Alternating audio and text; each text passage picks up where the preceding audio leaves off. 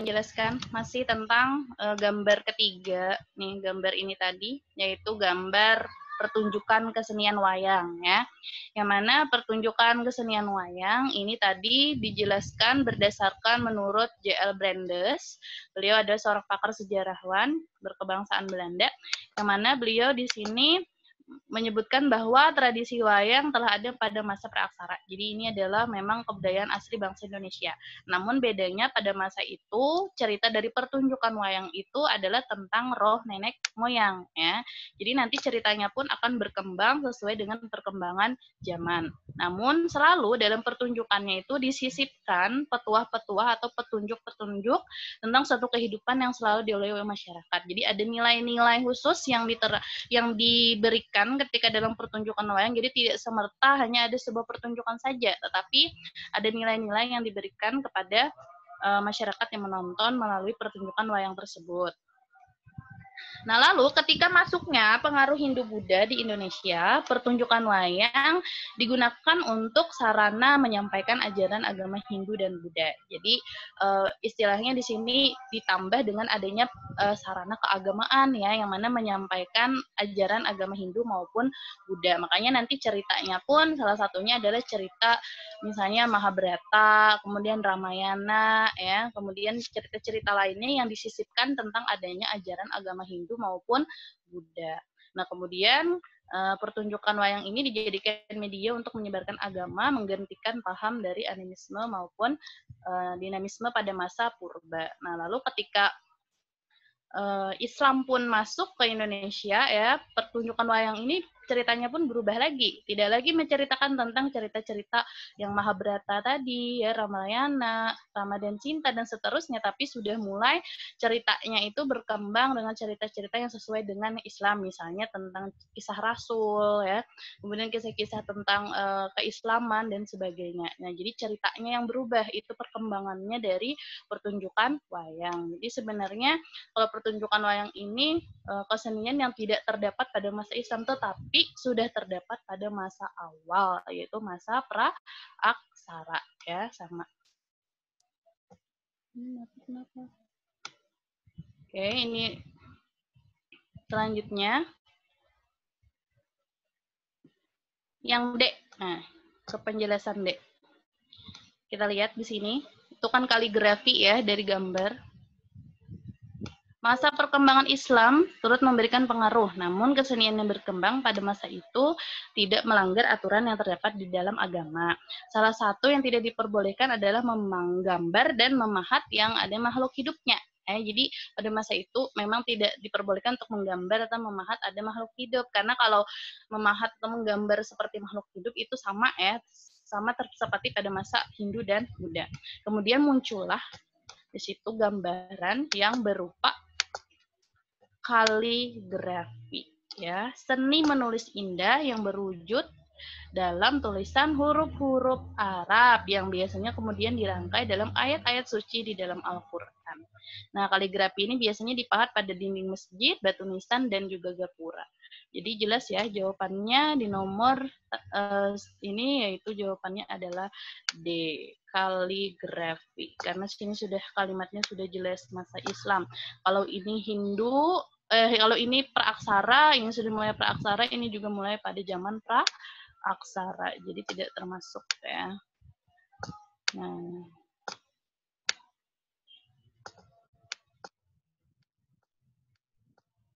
Jadi harus bisa mengidentifikasi ciri-cirinya. Kalau pokoknya gambarnya kayak batu-batu, kayak itu jelas sudah terjadi pada masa pra aksara, masa masa sebelum adanya kita mengenal tulisan ya, tergantung sesuai dengan soalnya. Nah, ini gambarnya. Ini soal nomor tiga ya tadi, soal nomor tiga. Kita lanjutkan next ke soal yang nomor 4. Nah, ini masih tentang agama Hindu dan Buddha. Hindu dan Buddha membawa perubahan yang sangat besar dalam kehidupan masyarakat Indonesia. Salah satu contohnya pengaruh Hindu Indonesia di bidang pemerintahan. Bidang pemerintahan ini adalah sama dengan politik Ya, berarti kalau pemerintahan itu politik, kalau di negara kita pemerintahan itu ya presiden, kepala negara, sebagai kepala negara, sebagai kepala pemerintahan. Berarti arahnya sudah kalimatnya kepada di sini. Kalau yang A, adanya sistem kasta. Hmm. Kasta ini adalah kalau kita ketahui arti daripada kasta merupakan nah ya, kasta itu pembagian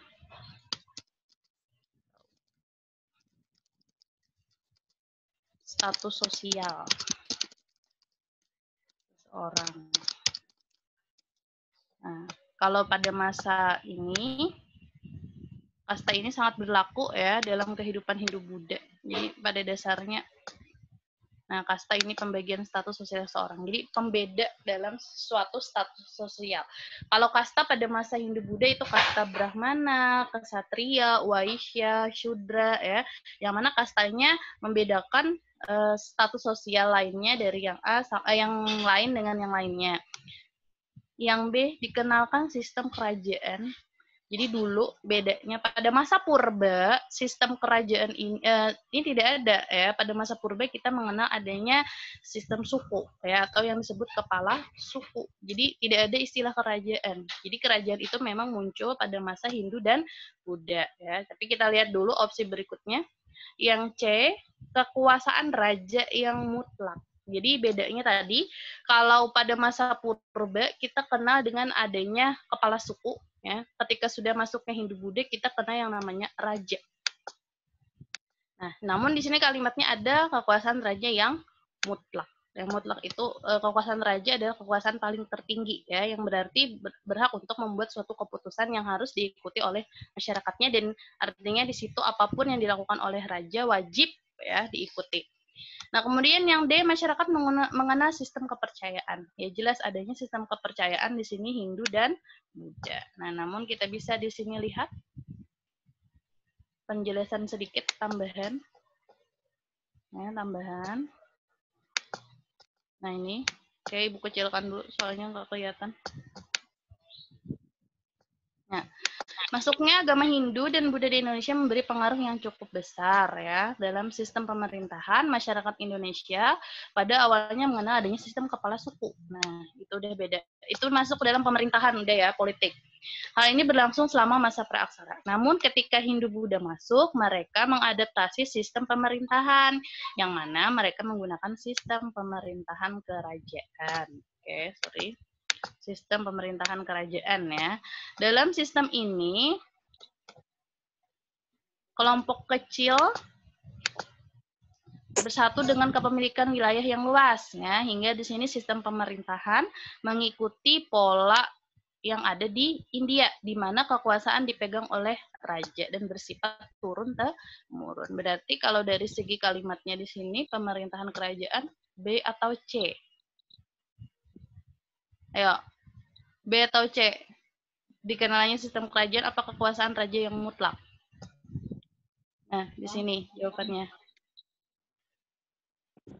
Jadi paling benar banget di sini sesuai dengan kalimatnya, yaitu berarti adalah kekuasaan raja yang mutlak. Karena di sini sudah mengenai adanya kalimat tadi secara turun temurun. Nah, itu ya secara turun temurun. Nah, makanya di situ kalimatnya raja yang sifatnya mutlak. Ini dalam bidang pemerintahan. Ini soal nomor 4. Ya, soal nomor 4. Cuma Ibu edit. Ya, kita lanjutkan materi berikutnya. Nah, ini mengenai kerajaan Sriwijaya.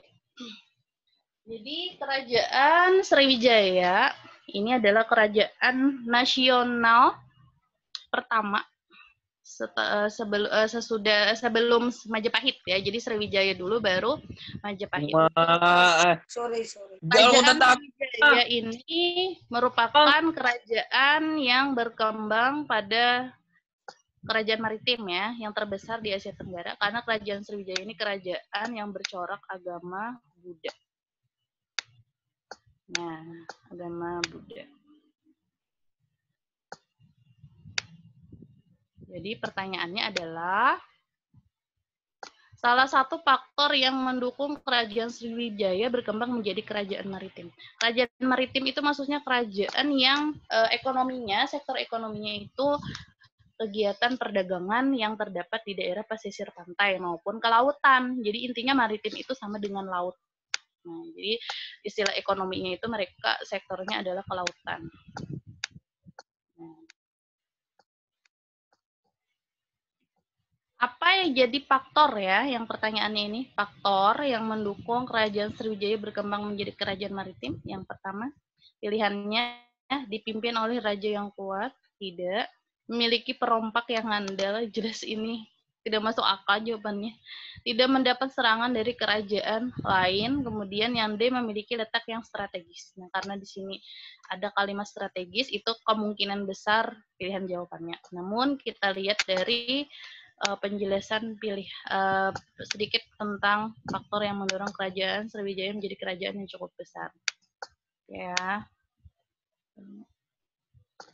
Nah, jadi pada dasarnya Kerajaan Sriwijaya, kerajaan yang bercorak Buddha ini, kerajaan nasional ini memiliki banyak sekali faktor yang membuat akhirnya Kerajaan Sriwijaya menjadi kerajaan besar. Salah satunya uh, Sriwijaya adalah kerajaan yang bercorak agama Buddha hingga menjadikan Kerajaan Sriwijaya adalah pusat agama Buddha yang ada di Asia.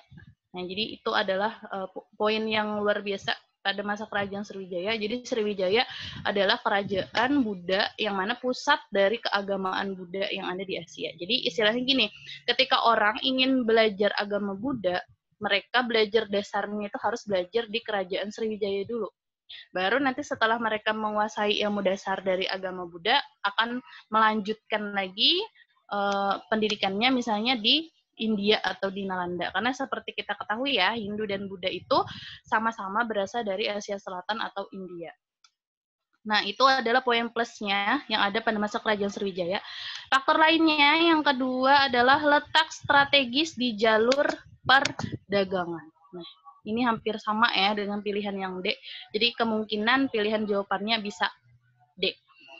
Yang yang ketiga, kemajuan pelayaran dan perdagangan antara Cina dan India melalui Asia Tenggara. Jadi maksudnya gini, karena kerajaan mari, uh, kerajaan Sriwijaya adalah kerajaan yang termasuk kerajaan maritim, jadi mereka di situ menyediakan tempat sebagai tempat persinggahan yang di, uh, ketika pedagang Cina maupun India ingin ke wilayah Asia Tenggara selain ke wilayah Selat Malaka.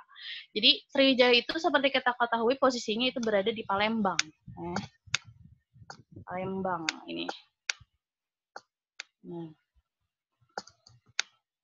Jadi artinya di situ ketika kapal-kapal pedagang lain yang dari negara lain ingin melanjutkan uh, perjalanan ke wilayah Asia lain itu bisa menjadi tempat persinggahan di, di Palembang selain di wilayah Selat Malaka yang memang posisinya lebih strategis juga ya. Cuman Palembang ini wilayahnya termasuk wilayah yang cukup strategis pada masa itu sehingga menjadi tempat persinggahan para pedagang Cina, India maupun negara lain. Nah, kemudian faktor keempat runtuhnya kerajaan Punan di Indochina yang menyebabkan akhirnya memberi kesempatan bagi Sriwijaya untuk berkembang menjadi negara maritim. Nah, jadi eh, kerajaan Punan ini berada di wilayah pesis, uh, wilayah yang menguasai wilayah Indochina, Singapura, Malaysia, Brunei Darussalam, daerah e, lainnya. Yang mana akhirnya di situ runtuh ya karena beberapa sebab hingga akhirnya menggantikan posisi Sriwijaya sebagai negara maritim.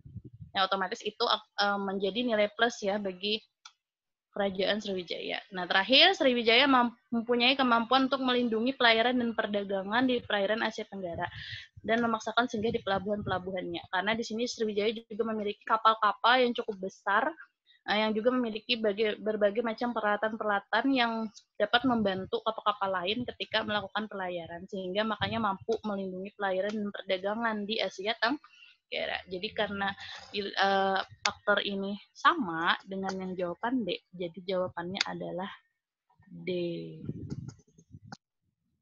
Nah, ini faktor yang mendukung kerajaan Sriwijaya ya.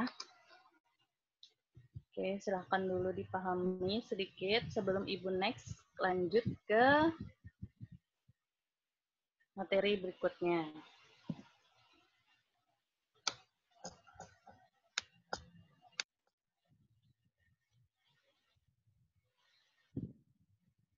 Hmm. Oke, kita lanjut ke soal berikutnya, soal yang sifatnya lots. Nah, soalnya ini adalah penjajahan Belanda selama ratusan tahun di Indonesia. Itu kurang lebih 200 tahunan ya. Makanya totalnya penjajahan di Indonesia itu tiga setengah abad ya, lebih dari 350 tahun. Membawa pengaruh dalam berbagai kehidupan. Salah satunya adalah di bidang budaya. Nah, pengaruh penjajahan Belanda di Indonesia dalam bidang kebudayaan adalah jadi yang namanya penjajahan itu pasti memiliki dampak ataupun pengaruh baik itu secara positif maupun negatif. Kalau positifnya dari adanya penjajahan bangsa Belanda ini adalah uh, munculnya tanaman-tanaman yang tidak dikenal di Indonesia, contohnya seperti kopi. Akhirnya Indonesia karena uh, tanahnya juga subur sehingga dapat menanam tanaman kopi itu dan menghasilkan istilahnya eks, ekspor kopi ke luar negeri. Padahal tanaman itu diperkenalkan oleh penjajah Belanda pada masa itu itu tuh nilai plusnya walaupun sebenarnya pengaruh yang paling banyak itu adalah pengaruh negatifnya. Kita lihat yang pilihan A, bangsa Indonesia mengenal busana Eropa. Nah, kalau kita kita lihat busana itu mengarah kepada fashion, ya bisa jadi menjadi arah ke budaya. Tapi kita lihat opsi berikutnya. Indonesia menerapkan pola pendidikan dasar 6 tahun. Wow, ini jelas tidak ya. Ini mengarah pada bidang pendidikan. Namun pada dasarnya pada masa penjajahan Belanda uh, tidak diterapkan sekaligus. Karena pada masa penjajahan Belanda ini yang mampu sekolah itu adalah orang yang memang benar keturunan dari pejabat atau raja atau ning keluarga ningrat dan seterusnya. Untuk pendidikan tidak terlalu diperhatikan lebih dalam yang rakyat biasa ya, walaupun pada masa itu mereka juga memberikan pola pendidikan selama enam tahun yaitu sekolah dasar besar yang kita sekarang uh, sering lihat itu sekolah uh, di SD atau MI yang dari kelas 1 sampai kelas 6 ya. Walaupun tidak sepenuhnya di sini karena ya tadi pendidikan mengarah kepada orang-orang yang memang memiliki kekuatan di Indonesia. Misalnya tadi keluarga pejabat, keluarga ningrat dan seterusnya. Yang C, banyaknya nama Belanda yang digunakan orang Maluku. Malah tidak, malah orang Maluku paling banyak menggunakan nama-nama Maluku ya. Ya, karena kalau kita ketahui sebenarnya Maluku itu dijajah oleh Portugis. Jadi kalau nama-namanya ya kebanyakan nama-nama asli Maluku maupun Portugis. Jadi ini kurang tepat.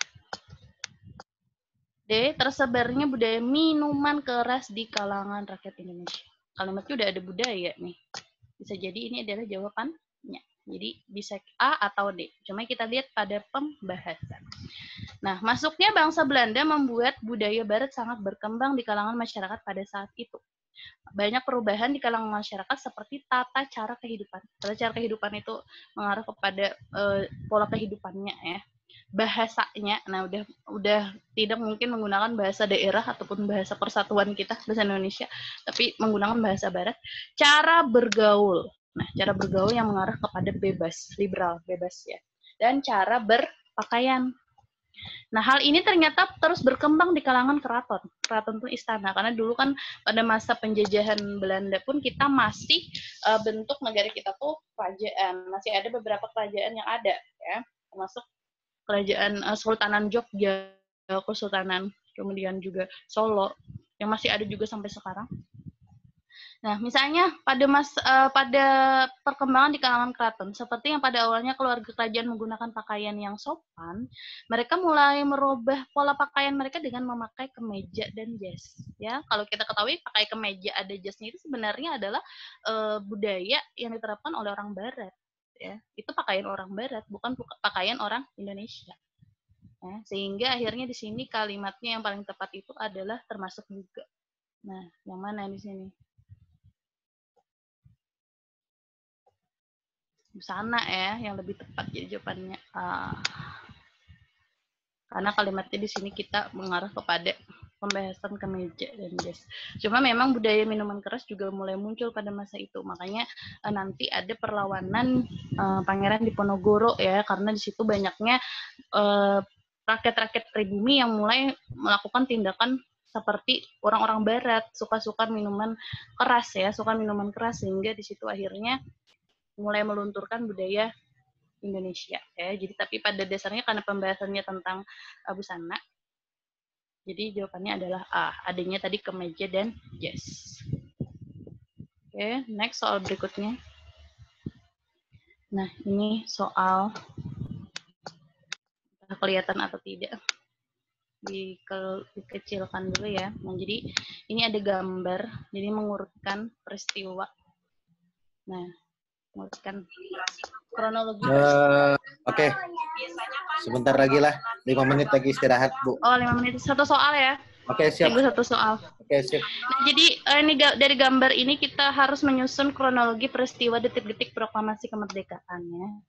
Ini yang pertama, kalau kita perhatikan ini ada gambar Nagasaki, Hiroshima. Kenapa? Ada apa peristiwa itu? Jadi peristiwa ini adalah peristiwa yang berakhirnya Perang Dunia Kedua dengan dibomnya Nagasaki dan Hiroshima di Jepang oleh pemerintahan Amerika Serikat. Ya, ini peristiwa yang pertama. Peristiwa yang kedua adalah ini pembacaan teks proklamasi kemerdekaan Republik Indonesia yang terjadi pada 17 Agustus 1945 yang ketiga ini adalah uh, berita yang disebarkan oleh orang Barat bahwa Jepang mengalami kekalahan melawan Amerika Serikat. Ya, ini jelas mukanya aja orang Amerika. Jadi di sini penegasan orang Amerika sekutu ya istilahnya itu sekutu. Ada Amerika, Inggris, yang mana mereka di sini uh, menulis bahwa Jepang mengalami kekalahan. Nah, di sini isyarat daripada kronologi ini. Nah, yang keempat ini adalah bentuk perumusan. Perumusan daripada naskah proklamasi. Jadi dari urutan ini apakah yang pertama yang harus uh, dilakukan uh, yang terjadi pada masa itu ketika detik-detik proklamasi kemerdekaan Indonesia urutannya yaitu yang pertama adalah pasti poin nomor satu. Kenapa nomor satu? Karena di sini yang nomor satu ini yang menyebabkan akhirnya kita Indonesia melangsung, melangsungkan proklamasi kemerdekaan Indonesia. Karena sebelumnya seperti Ibu jelaskan bahwasanya Indonesia dijanjikan kemerdekaan oleh Jepang, makanya dibentuk BPOPKI dan PPKI. Nah, dengan dibentuknya BPOPKI dan PPKI itu adalah bentuk realisasi Jepang yang untuk memberikan janji kemerdekaan. Jadi dengan adanya uh, di sini Nagasaki dan Hiroshima mengalami pemboman yang dilakukan oleh Amerika, berarti ini menyebutkan bahwa pada dasarnya Jepang pada masa itu mengalami kekalahan dalam Perang Dunia Kedua. Jadi soal yang D ini pasti salah. Ya, karena dia dua dulu. Kemudian di sini yang dua dulu apa yang tiga? Ya. Di sini mengumum, uh, di sini yang nomor tiga tadi adalah pengumuman yang diberikan oleh sekutu bahwa Jepang telah mengalami kekalahan. Jadi pada dasarnya jelas ya terlihat di sini nomor tiga ini adalah yang urutan ke dua. Nah jelas tuh satu dan tiga. Ya udah. Terakhir kan dua. Setelah dua, setelah diumumkan bahwa Jepang ternyata sudah kalah melawan Amerika Serikat, akhirnya dilakukanlah proses perumusan naskah proklamasi.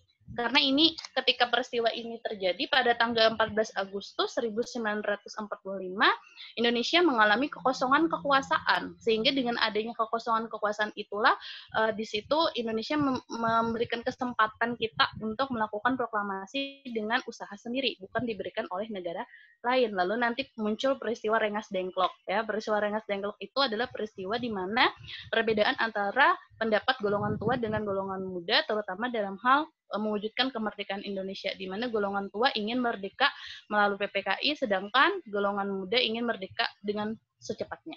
Hingga terlaksanalah 16 Agustus perumusan naskah proklamasi lalu terakhir Poin keempat adalah di mana dibacakannya teks proklamasi kemerdekaan Indonesia yang berposisi di Jalan Pengangsaan Timur nomor 56 jam 10 pagi ya, di mana di situ akhirnya janji kita sebagai negara yang merdeka terwujud ya tapi merdeka dengan usaha sendiri nah jadi jawabannya satu tiga empat dua B Nah, itu jelas ya jawabannya. Jadi memang harus tahu kronologi peristiwanya dulu untuk mempermudah kita mengurutkan peristiwa. Ya, mungkin uh, soal EPS sejarah yang akan kita bahas hari ini sampai di sini dulu. Nanti kita lanjutkan pada pertemuan berikutnya. Uh, Assalamualaikum warahmatullahi wabarakatuh. Waalaikumsalam warahmatullahi wabarakatuh. Hmm.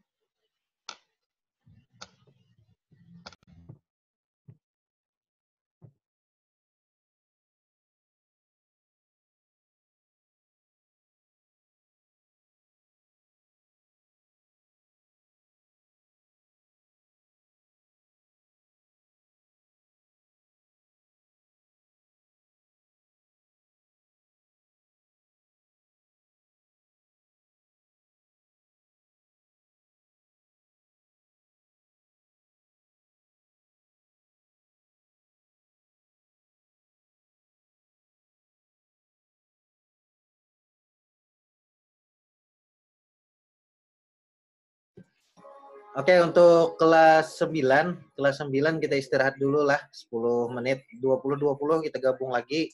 Soalnya nanti akan dilanjutkan mata pelajaran biologi. Oke, kepada Ibu Ripiana, terima kasih atas materinya yang sudah disampaikan pada malam hari ini.